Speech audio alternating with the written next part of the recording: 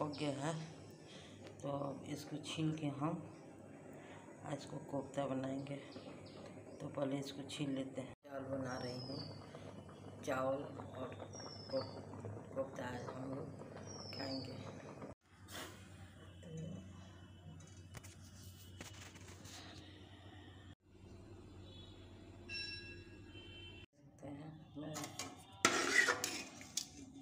मसाला थोड़ा भुना गया है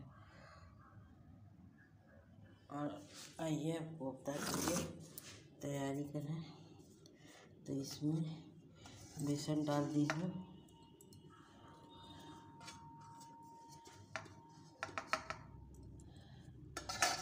और इसमें प्याज डाल रही हूँ।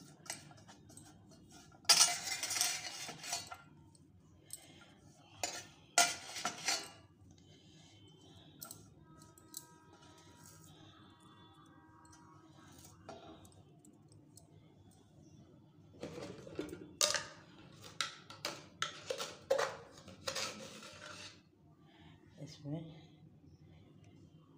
एक चम्मच नमक डाल रही हूँ अपने स्वाद अनुसार डाल लीजिएगा। उसमें मसाला में पड़ा हुआ है ग्रेवी में। और इसको मिला दे रही हूँ।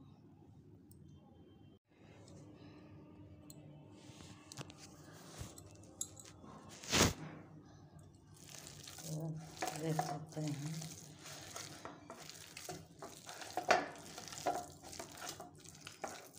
वहाँ से इसे मिला रही हूँ इसको अच्छा से कूट कर ली हूँ।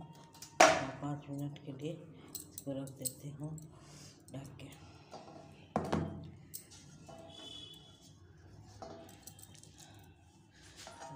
ढक के पूरी तरह से थोड़ा सा देख सकते हैं। कढ़ाई को गर्म कर रही हूँ, गर्म हो जाता है तो तेल डाल देते हैं मेरा कढ़ाई गर्म हो गया है। तो इसमें तेल डाल रही हूँ।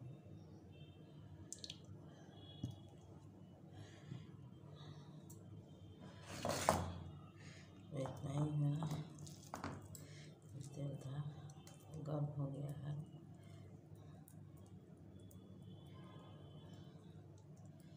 इसमें डाल रही हूँ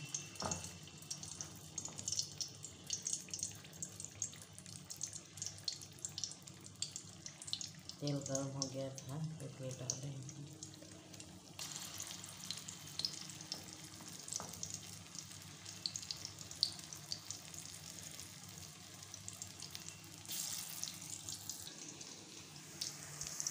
सकते हैं ये अच्छे से डाल दे रही हूँ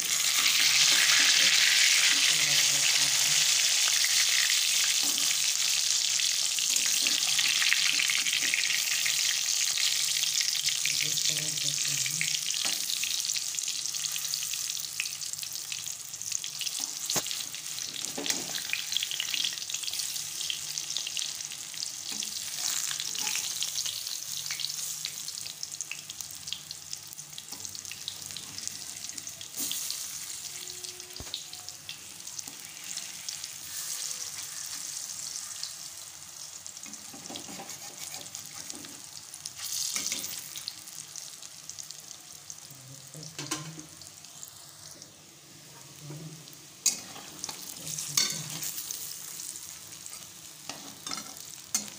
Thank you.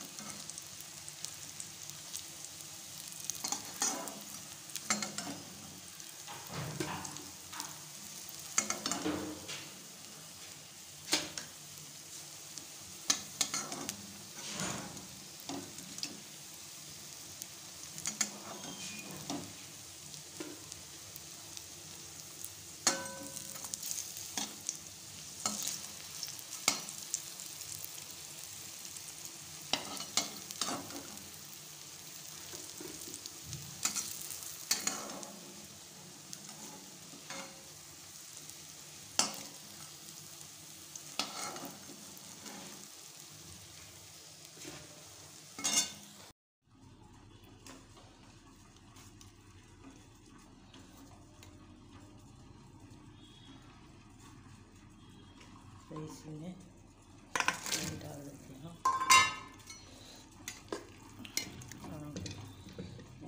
तैयार। और हम सर्व करके दिख सर्व करके दिखाऊँगी।